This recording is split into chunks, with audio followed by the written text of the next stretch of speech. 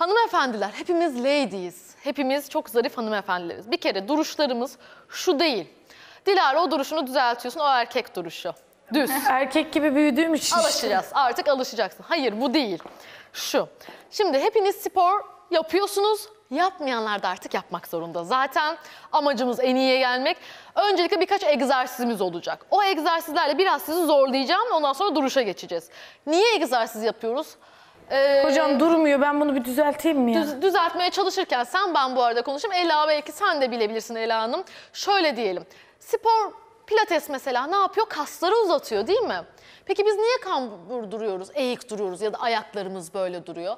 Vücudumuz buna alıştığı için olabilir mi? Demek ki bazı kasları biz uzattık, bazılarını kısalttık, anatomiyi bozduk. Yeğeni olan çocuğunuz vardı sizin. Sizi geçtik. Çocuğu, yeğeni, kuzeni küçük yaşta hep e, düşünün, hayal edin. 3 yaşında dümdüz durur. Bebek beziyle oturtursun koltuğa. Düşmez. İtersin yine sabittir. 5, 7.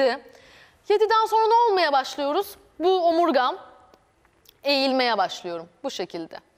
Niye? Kitap, kalem, çalışmalar, defterlerle bir şeyler yapmalar.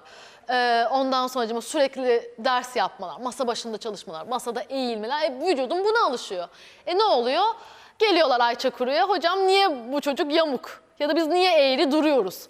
Sizin o eğri duruşlarınızı biz tekrardan eski hale getiriyoruz. Şimdi biraz kaslarımızı spor yaparmış gibi açalım.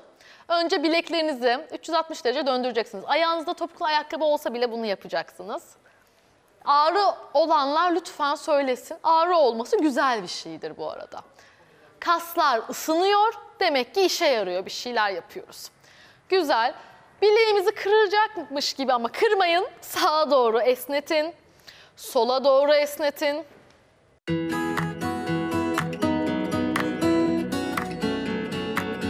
Uzatın burada elma var elmaya ulaşmaya çalışıyorsunuz.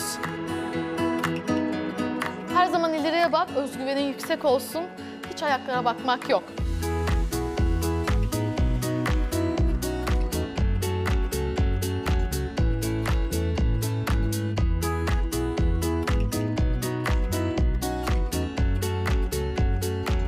Nefes var.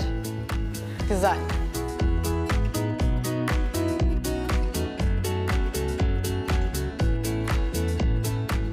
Kendinize çok iyi bakın. Hoşça kalın.